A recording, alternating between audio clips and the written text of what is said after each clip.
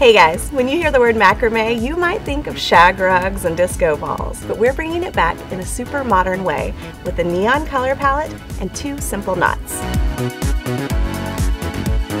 Here's what you'll need.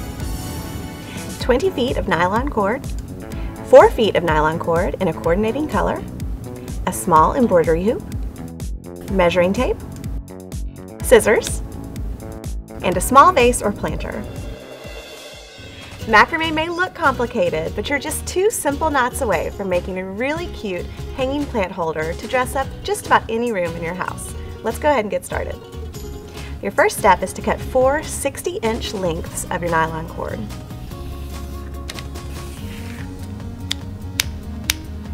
Okay. And then you're going to cut two 20 inch pieces of your accent cord. Now if you notice that the ends of your nylon rope are starting to fray, just melt the ends. Take your embroidery hoop and pop out the center ring. You can actually use these to make two different planters if you want, but we only need one for now. Take that ring and thread your four long pieces of cord through it until they are equal lengths on each side. Now this is where you're going to want to hang this from a doorknob or I actually used some removable adhesive to put a hook right on my table. I'm going to hook the loop right around it and now we're going to learn our first knot. The first knot I'm going to teach you is called a gathering knot and this is going to make the nice tight coil at the top of our hanging planter. You want to leave about an inch or two of your cord pointing up and make a loop pointing down and take the excess cord and tightly wrap it around the pink cord.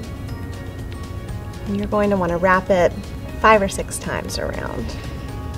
Once you've wrapped it around enough, take your loose end and put it through the loop. Hold tight and now take your top end and pull, and you'll see that the loop is going to pull that end right up into the coil, hiding the end of the knot. And now just trim the ends. Okay, now that we have our gathering knot in place, it's time to tie our first Josephine knot. We're going to take the top four cords and hold them in our hand and put the bottom four cords off to the side. Now, the Josephine knot is a little tricky, so watch this to see exactly how to do it.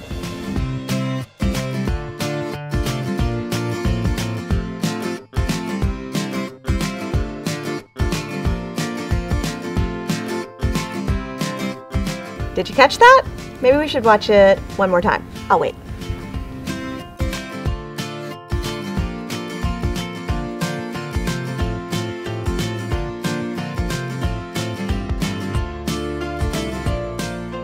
All right, it took me a few tries to get the Josephine knot, but once you've got the hang of it, I promise you can whip through the rest of this project in no time.